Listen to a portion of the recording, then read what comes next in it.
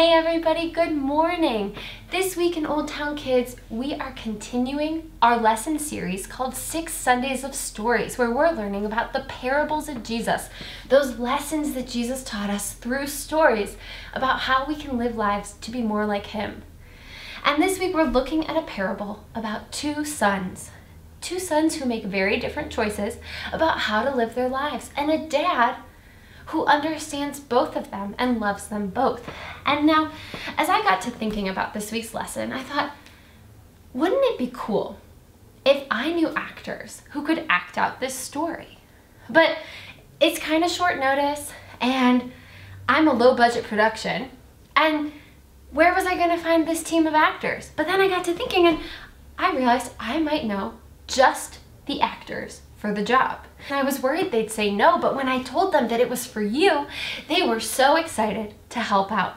So I hope that you will sit back, relax, and enjoy this all-star cast production of the much beloved classic parable, The Prodigal Son. There once was a man who had two sons. Now one of the sons was feeling very tired of his life. He wanted to do something new, and so he said, Dad, give me my inheritance now. This was special money the dad had set aside for his sons for later. But the dad said yes, and he gave his son the money, and the son took his money and went off into the world. And boy, he lived large. When he wanted fancy food, he ate it. When he wanted a cool toy, he bought it. But guess what happened? He ran out of money. All of his money ran out. All of his credit cards were maxed out. There was nothing left. And then life was hard. He was hungry and he was unhappy. And then he realized something. He realized that at his dad's house, people weren't hungry. At his dad's house, people were happy. So he decided he would go home. He would admit to his dad that he made a mistake he would say that he had done a bad thing. He would say he was sorry.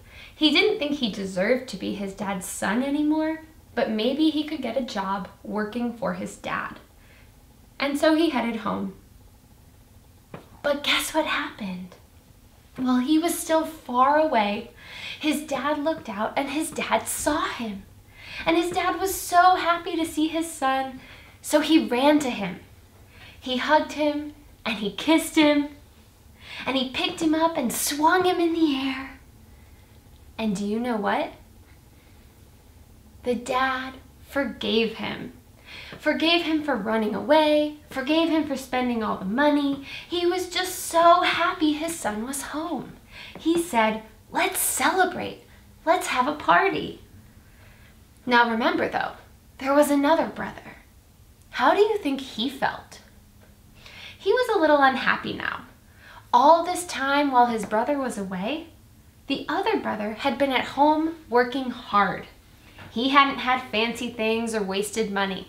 There'd never been a party for him, even though all this time he had done his chores and did as he was told. And his dad saw that he felt sad, felt a little hurt, felt a little forgotten. But here's what his dad said to him. He said, I love you. You are mine. You are always with me. Isn't that the best? And now your brother is here too. Isn't that even better?